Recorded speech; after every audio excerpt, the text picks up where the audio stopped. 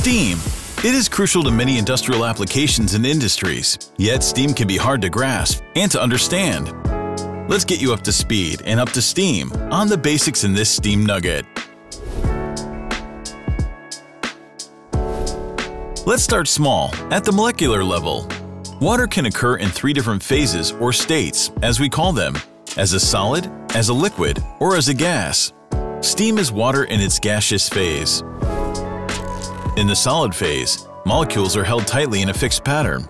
When liquid, the molecules are still packed closely together, but they can move around. In the gas phase, the molecules are much farther apart and are separated from each other. Melting and vaporizing are examples of transitions from a more ordered to a less ordered state. When a substance goes from solid to liquid, from liquid to gas, or from solid straight to gas, that transition requires an input of energy. We call such a process endothermic. Freezing and condensing, on the other hand, are transitions from a less ordered to a more ordered state. These transitions are called exothermic, going from liquid to solid, from gas to liquid, or from gas to solid releases energy. Here's some more important terminology. Let's talk about the difference between sensible heat and latent heat. The sensible heat is the energy that is required to increase the temperature within a phase. For instance, the energy you need to heat water is the sensible heat, Specifically, the sensible heat of water is 4.2 kilojoules per kilogram per degree Celsius. The latent heat is the energy required to change the phase. If you want to turn water into steam, the energy you put in is latent heat. Similarly, the heat emitted when steam condensates is also latent heat. The latent heat of water is 2.260 kilojoule per kilogram. This graph shows the different stages at which sensible and latent heat come into play when heating up water. During the phase changes, when ice turns into water and when water turns into steam, the temperature does not change. All the energy is then used to separate the molecules from each other.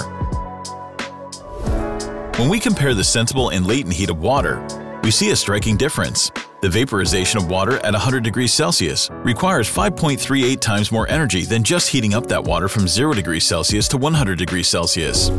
Oh, and that energy is also called specific enthalpy, that answers what steam is, but how do we get it? How do we produce steam? Let's look at a couple of scenarios. One way to generate steam is by vaporizing water at a fixed pressure. Take atmospheric pressure for example. This graph shows that when you heat up water at atmospheric pressure, that water will vaporize and turn to steam at 100 degrees Celsius. You can also use another approach. You can produce steam by vaporizing water at a fixed temperature, Let's say you want to generate steam at 50 degrees Celsius. The same graph teaches us that water will vaporize at that temperature if the pressure drops to 0.1 bar absolute. Of course, this is only possible by creating a vacuum in the tank that is holding the water. Let's give you an example you will certainly find familiar. How long does it take to boil potatoes? Well, that depends. At sea level, the atmospheric pressure is 1 bar absolute.